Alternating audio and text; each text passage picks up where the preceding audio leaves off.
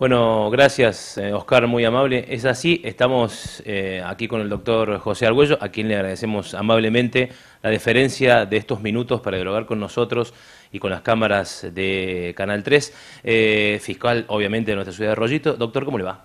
¿Qué tal? Buen día, Hugo. ¿Cómo estás? Bueno, le agradecemos el tiempo que nos ha dispensado para hablar Vamos a hablar a lo largo de, bueno, del 2017 mucho con usted, vamos a ver la posibilidad de tenerlo allí en el piso también, como lo hacemos ahora en vivo.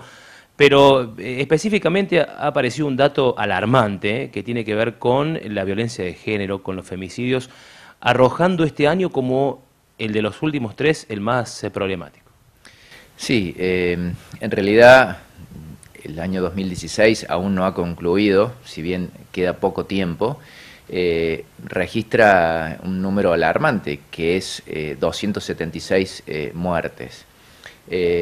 no es el más alto de, los últimos años, porque el año pasado hubo 12 muertes más, pero creo que las muertes de este año han tenido distintas connotaciones, eh, por recordar algunos de, los hechos, como el de San Francisco, la maestra, la maestra jardinera, entonces son este, eh, homicidios que han eh, calado hondo en la sociedad.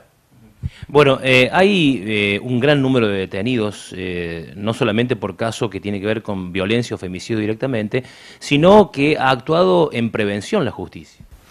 Sí, nosotros actuamos ante la denuncia que formulan las víctimas y también eh, por incumplimiento de los agresores por antecedentes que nos este, pasa el juez de familia de esta ciudad.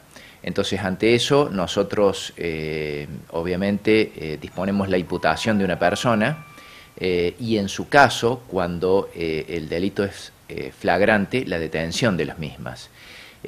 Todo tiene que ver este, con, el, con el grado del delito eh, si hubo lesiones o no y si hubo reiteración en las desobediencias.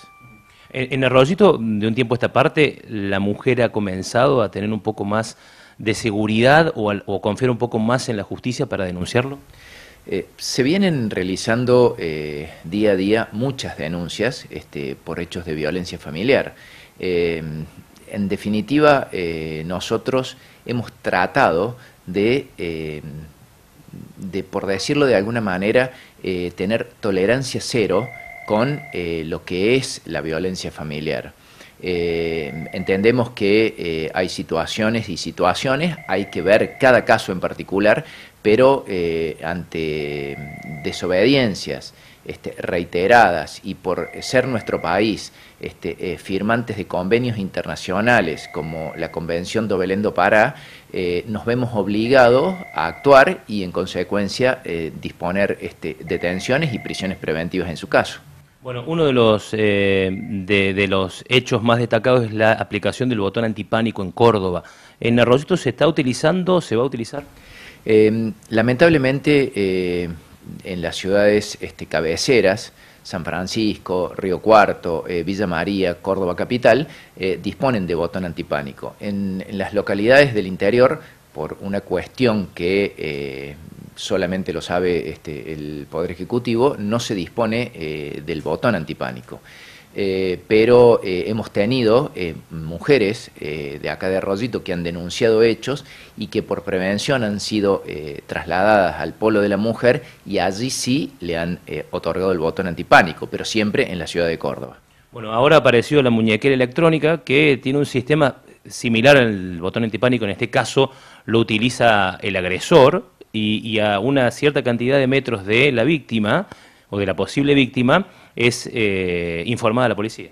Sí, es así. Em, digamos, no es que el botón antipánico desaparece, es una medida complementaria para eh, coadyuvar este, eh, a la protección integral de la mujer. Entonces, ante eh, hechos de violencia, mm, se otorga esta, esta esta tobillera, lo cual eh, también consta con, eh, viene agrupado con un tipo de celular que es el que emite las radiaciones para poder este, eh, eso sonar en la central de policía, donde desde ahí se observan todos los movimientos.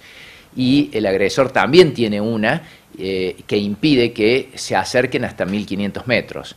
Pero todo eso que te estoy comentando, Hugo, es en, razón de que previamente un equipo técnico compuesto por psicólogos y asistentes sociales evalúan la necesidad la conveniencia y la peligrosidad para otorgar o no el botón antipánico y la, pulsera, porque de lo contrario, hoy en día casi todas las mujeres eh, solicitan eso eh, y para todos no hay, obviamente. Bueno, eh, desde ya las mujeres se quieren acercar a la fiscalía, es la ayuda que le puede brindar la justicia o a la policía misma para denunciar algún caso de agresión. Sí, por supuesto, eh, en la Fiscalía de Instrucción o en la unidad judicial este, a cargo eh, del ayudante fiscal pueden denunciar los hechos este, de violencia familiar. Bueno, aprovechamos y nos abusamos de la amabilidad del doctor Argüello para conocer cómo ha sido el balance en síntesis del año que está finalizando. Bueno, hemos tenido muchos hechos eh, de violencia familiar, hemos tenido pocos hechos en contra de la propiedad, eh, y muchos hechos de abusos sexuales en contra de menores de edad, ocurridos siempre en el ámbito este, intrafamiliar. Eh, en estos momentos este, eh, tenemos siete personas detenidas con este, esa, esa diferencia eh, de, delitos este, que, van desde la violencia a los abusos sexuales sin este, hacer foco en la, en la propiedad. Bueno, doctor, lo vamos a estar molestando obviamente ahora cuando comience el 2017, después de la feria, para eh, dialogar de diferentes temas, porque usted sabe que hablar solamente de un tema eh, nos lleva un tiempo y hablar de todos es casi imposible. No, con gusto cuando ustedes lo requieran. Bueno, le agradecemos al doctor eh, José Argüello, Oscar, eh, ahí en estudios, adelante. Eh, bueno, y obviamente estamos llevándole la información y, la, y el agradecimiento nuevamente al doctor Argüello por el tiempo que nos ha dispensado.